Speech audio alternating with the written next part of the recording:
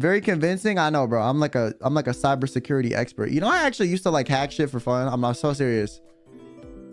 I used to be like a little gray hat hacker. I used to hack into my sister's Instagrams when they would piss me off, just to see if I could do it.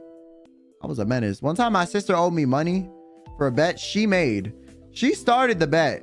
She was like, "Yeah, yeah, you're gonna pay me a hundred dollars if if you're wrong." And I was like, "Okay." Then she was wrong and then refused to pay me the money. So I hacked into her Instagram and changed the password and refused to give it back till she gave me the money. That's called being the smarter sibling. Well, thanks for super chat. Thanks for always tolerating my attempts to make the Kyomis laugh at your expenses. It was a payback for ruining my very nice normal life by pulling me into VTubers, bruh. JK, have no regrets. You, uh, I've loved being a Kyomi and I've loved watching you. No hetero. Good luck, bro. Thanks, Plum. That's crazy. I used to hack my sister's Instagram too. Wait, dead ass? Or you want some like lore shit because you're like an AI cat? I don't I don't really know what what you want right now. You want some like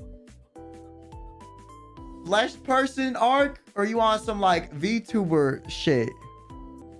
No, hacking your sisters. Oh. Word.